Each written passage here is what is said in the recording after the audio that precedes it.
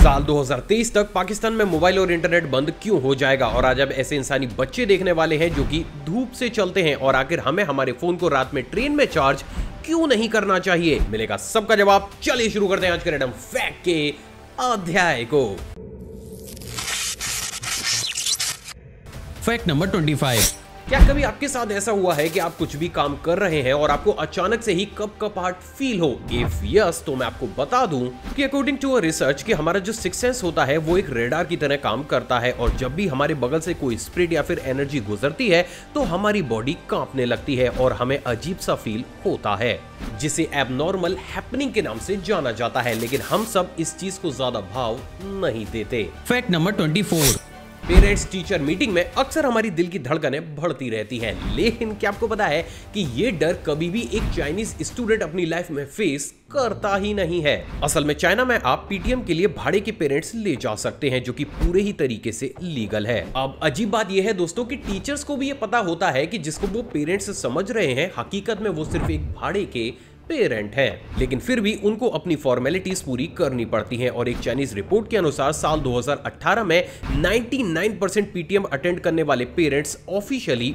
भाड़े के पेरेंट्स थे। वियर्ड फैक्ट नंबर 23 दोस्तों ज़्यादातर लोगों को कॉफ़ी पीना काफ़ी ज़्यादा पसंद होता है। लेकिन क्या कभी आपने सोचा है कि इस पूरी दुनिया की सबसे महँगी कॉफ़ी कौन सी है? असल में इस पूरी दुनिया की सबसे महँगी कॉफ़ी जैकू बर्ड कॉफ़ी है, जिसकी कीमत एक लाख बीस हज़ार रूपए पर के है। और ये इतनी ज़्यादा महँगी इसलिए है क्योंकि इसको ब्राज़ील में जैकू बर्ड की पोटी से बनाया जाता है। अब क्योंकि बर्ड थोड़ी थोड़ी सी पोटी करती है तो इसकी क्वांटिटी भी थोड़ी कम ही मिलती है, और इसीलिए ये कॉफ़ी इतनी ज़्यादा महँगी है। फैक्ट नंबर ट्वेंटी क्या आपको पता है कि हम इंसानों की तरह मरे हुए पेड़ भी फाट करते हैं? असल में इसे जॉम्बी ट्री फाटिंग सिस्टम कहा जाता है, जिसमें मरे हुए पेड़ जो सड़ रहे होते हैं, उनके ऑर्गेनिक मैटर को जब माइक्रोब्स खाते हैं तो इससे भी फाट जैसी गैस इमिट होती है। And according to a research ये मरे हुए पेड़ हर घंटे दो से तीन बार फाट करते हैं, जो की टेक्निकली हम इंसानों से भी ज़्यादा है। फैक्ट नंबर ट्वेंटी दोस्तों दुनिया भर में हमें अजीबो गरीब शादियाँ देखने को मिलती हैं, जिसमें कोई रोबोट से शादी कर रहा है तो कोई दीवार से। और ऐसी ही एक अजीबो गरीब शादी हमें मेक्सिको के ओक्साका शहर में भी देखने को मिली, जहाँ के मेयर ने किसी लड़की से नहीं,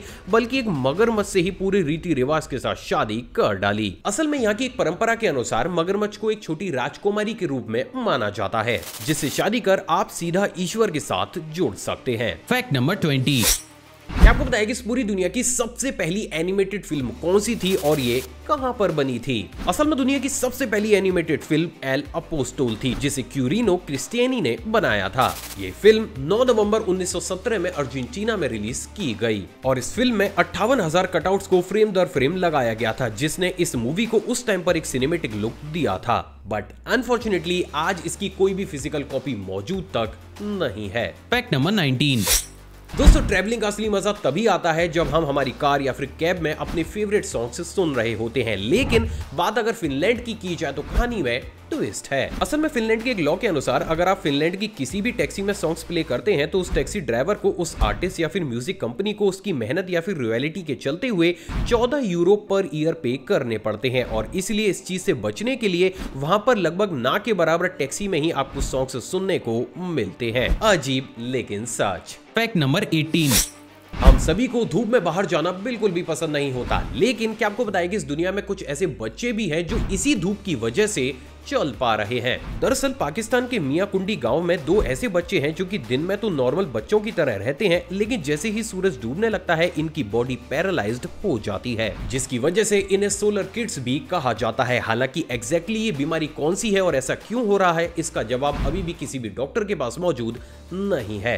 फैक्ट नंबर हो कि मैं आपसे कहूँ कि अब आपको अकेले नहीं, बल्कि अपनी फैमिली और रिश्तेदारों के साथ नहाना है। सुनने में काफ़ी ज़्यादा अजीब है ना, लेकिन पिछले 140 सालों से जापान में यही हो रहा है। असल में जापान में कोनयुकू नाम की एक ऐसी प्रथा मनाई जाती है, जिसमें फुल फैमिली और रिलेटिव्स सब एक साथ नहाते हैं। क्योंकि उन लोगों का ये मानना है कि ये प्रथा परिवार में आसानी से घुलने मिलने का एक बेहद ही बेहतरीन एनवायरमेंट पैदा करती है। वैसे, क्या कभी आप इस तरीके से नहा सकते हैं? कमेंट करके बताइएगा ज़रूर। फैक्ट नंबर सिक्सटीन जैसे कि हम सभी जानते हैं कि हमारी बॉडी का नॉर्मल टेम्परेचर 98.6 फ़ारेनहाइट्स होता है और फीवर आने पर यह टेम्परेचर 103 या फिर 104 डिग्री फ़ारेनहाइट तक पहुँच जाता है। लेकिन अगर इससे ऊपर बॉडी का टेम्परेचर पहुँचता है तो इससे हमारी डेथ भी हो सकती है। लेकिन वहीं दूसरी तरफ़, क्या आपको बताया कि इस दुनिया में एक ऐसा शख्स भी मौजूद है जिसका इसी कैटेगरी में एक बेहद ही लाजवाब वर्ल्ड रिकॉर्ड भी हासिल है। असल में 10 जुलाई 1980 में अटलांटा के बावन वर्षीय विली जोन्स का बॉडी टेम्परेचर 115 डिग्री फ़ारेनहाइट पहुँच गया था, लेकिन इसके बावजूद भी इन्हें कुछ नहीं हुआ, जिसके चलते हुए इनका नाम Guinness book of world record में भी दर्ज किया गया। फैक्ट नंबर 15 हमें शहद मधुमक्खियों से मिलता है, लेकिन क्या हो कि अगर उसी शहद को बचाने के लिए हमें मधुमक्खियों को ही मारना पड़े? दरअसल वेरोआ नाम का एक बहुत छोटा माइट ऑस्ट्रेलिया के साउथ ईस्ट हिस्से में फैल चुका है, जो की चुटकी बजाते ही मधुमक्खी के पूरे छत्ते को ही खत्म कर देता है। डराने वाली बात यह है दोस्तों कि ये एक बी से दूसरी बी में भी ट्रांसफ़र हो जाता है, जिसके चलते हुए शहद को बचाने के लिए अभी तक 60 लाख से भी अधिक मधुमक्खियों को खत्म कर दिया गया है। और अगर अभी भी आप ये सोच रहे हैं कि आखिर इस माइट को खत्म क्यों नहीं किया जा रहा तो मैं आपको बता दूँ कि रिसर्च से ये साफ़ हुआ है कि ये माइट अर्थ से बिलोंग ही नहीं करता, जिसके चलते हुए इसका प्रॉपर ट्रीटमेंट किसी पर है ही नहीं। फैक्ट नंबर 14 क्या आपको पता है कि साल 2021 में हमारे सामने एक ऐसी वैकेंसी भी आई जिससे पूरी ही दुनिया को हिला दिया। असल में पायल आइलैंड ने घोषणा करी कि उन्हें अपने पूरे ही आइलैंड के लिए एक राजा की तलाश है और जो भी इंसान हेलमेट पहनकर तलवार पकड़े हुए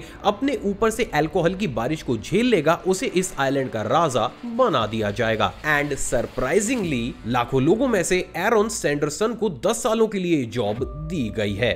मतलब गजब ही चीज़ है ये तो। फैक्ट नंबर 13 दोस्तों अट्रैक्टिव दिखने के लिए लोग क्या कुछ नहीं करते और उसी का ही एक जीता जागता एग्ज़ाम्पल एनेस्टेशिया हैं, जिन्होंने यूनिक दिखने के लिए अपने फेस की प्लास्टिक सर्जरी कराने में छह साल और करोड़ों रुपए ही खर्च करके अपने चीक्स को कुछ इस तरीके से दुनिया के सबसे बड़े चीक्स ही बना डाला, जो भले ही देखने में काफ़ी ज़्यादा अजीब हो, लेकिन यही चीज़ इनके नाम एक नया वर्ल्ड रिकॉर्ड कर गई। वैसे, आपको इनका ये बदलाव कैसा लगा कमेंट करके बताइएगा ज़रूर। फैक्ट नंबर ट्वेल्व दोस्तों, जैसे कि हम सभी जानते हैं कि सिगरेट पीना हमारी हेल्थ के लिए काफ़ी ज़्यादा गलत होता है। लेकिन क्या आपको पता है कि नाइनटीन सेंचुरी में यही सिगरेट किसी वरदान से कम नहीं थी? असल में उस समय सिगरेट को एस्टमा ठीक करने की सबसे अच्छी मेडिसिन माना जाता था, क्योंकि ये पैरोक्सिज्म और नाक की जलन जैसे सिम्टम्स को चुटकी बजाते ही ठीक कर दिया करती थी। और इसीलिए उस समय अस्थमा को ठीक कराने के लिए लोगों को ज़ोर ज़बरदस्ती सिगरेट्स पिलाई जाती थी। Fact number eleven.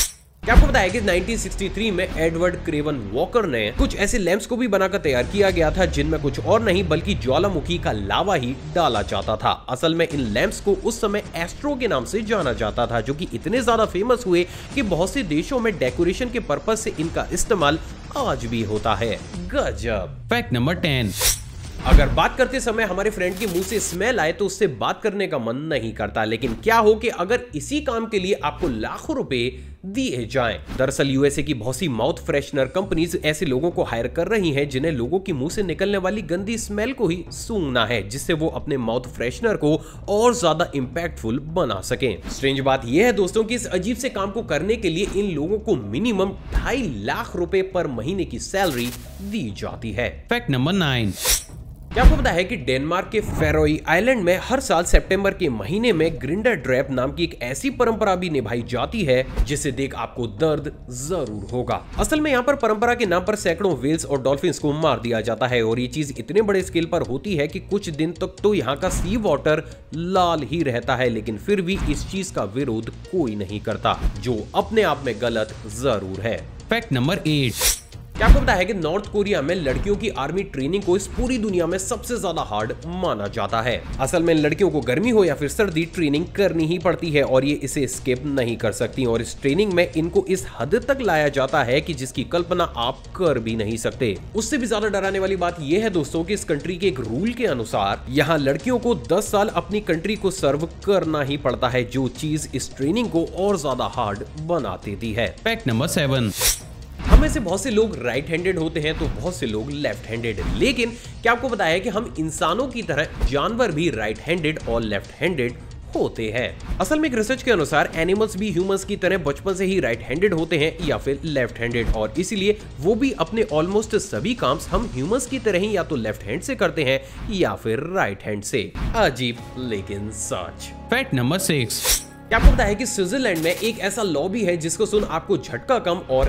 हँसी ज़्यादा आएगी? असल में यहाँ की गवर्नमेंट ने साल 2013 में ये एक लॉ निकाला था कि जो चुड़ैले होती हैं हाँ वही जो जो झाड़ू डालकर उड़ती है ना वही वाली चुड़ैल वो 150 मीटर की ऊंचाई से ज़्यादा ऊंचाई पर नहीं उड़ सकती और अगर वो ऐसा करती है तो उन्हें गिरफ़्तार करने के साथ साथ उन पर पाँच लाख रुपए का जुर्माना भी लगा दिया जाएगा। कोई सेंस है इस बात की? Fact number five. दोस्तों, किसी अंधे को आँखें देना बड़ा ही पुण्य का काम है। लेकिन क्या हो कि अगर आप ये करें और इसके बदले में आपकी नौकरी ही चली जाए? दरअसल, वेस्ट सेंट्रल रशिया की आर्ट गैलरी में काम करने वाले सिक्योरिटी गार्ड ने एक दिन बोरियत के चलते हुए बॉल पेन से थ्री फिगर नाम के इस आर्ट वर्क जो कि तीन मिलियन डॉलर का था, उसमें दो लोगों की आँखें ही बना डाली, जिसके चलते हुए न सिर्फ़ उसकी जॉब गई, बल्कि उस पर भारी पेनल्टी को भी लगाया गया।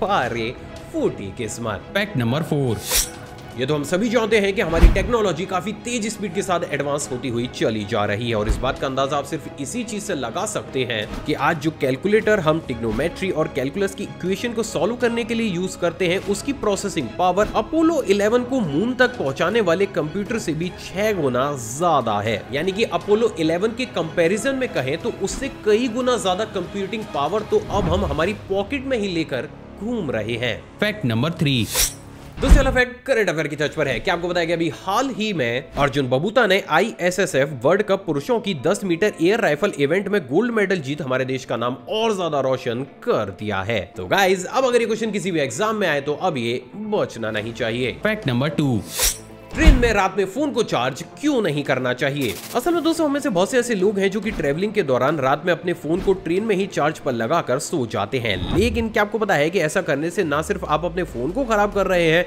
बल्कि आप दूसरों को भी खतरे में डाल रहे हैं। असल में, जैसे कि हम सभी जानते हैं कि एक फ़ोन को प्रॉपर चार्ज होने के लिए 220 वोल्ट की ज़रूरत होती है। तो वहीं बात अगर ट्रेन की की जाए तो इसमें वोल्टेज 110 से लेकर 200 तक रहते हैं और ये डिपेंड करता है ट्रेन की स्पीड पर।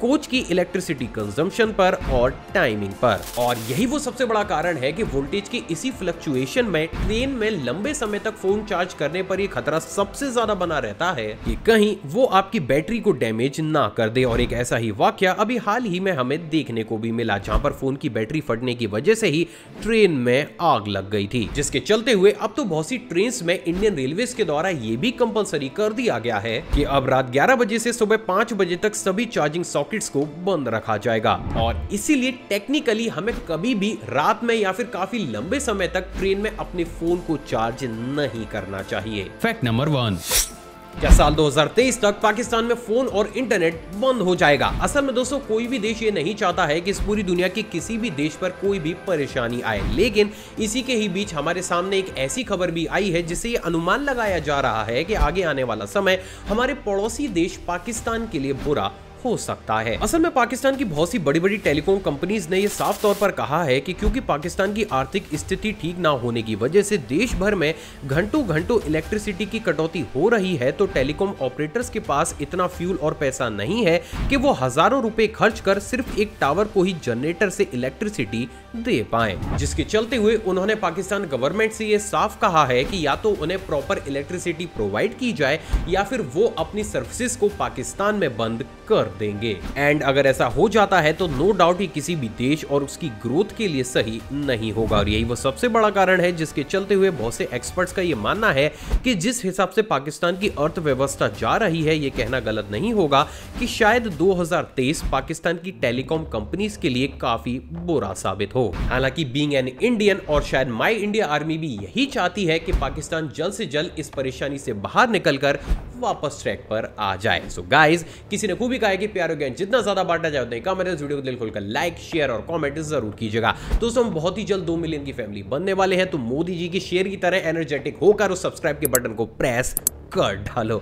साथ ही साथ आप अगर चाहें तो मुझे इंस्टाग्राम पर भी फॉलो कर सकते हैं। हम अभी मैं शॉर्ट शॉर्ट फैक्ट्स और बैक मोमेंट्स को टाइम टू टाइम शेयर करता रहता हूँ और अपनी नॉलेज को और ज़्यादा बूस्ट करने के लिए आप इस प्लेलिस्ट को भी चेकआउट कर सकते हैं। जय हिंद।